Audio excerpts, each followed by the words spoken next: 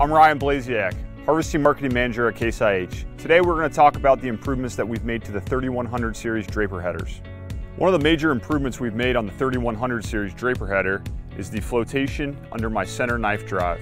We have gone from a dual torsion block to now we have an airbag suspension kit on model year 19 headers. This allows me to adjust based upon crop and ground conditions.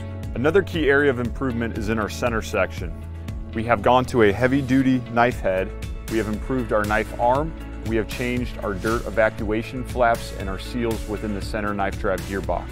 This has resulted in improved durability and reliability on the 3100 series draper headers. We have improved our in-feed belt traction by going to a rubber coated V-channel roller. Additionally, we have changed to a stainless steel auger trough and we have improved with our ball and socket finger design on the infeed auger. In model year 17, we went to an improved cam action style reel. This allows for a wide range of adjustments of reel sweep patterns based upon crop type and crop conditions. Additionally, we went to an open end design which allows for increased visibility from inside of the cab. Exclusive for the 3100 series draper headers is our in-cab deployable slow speed transport package.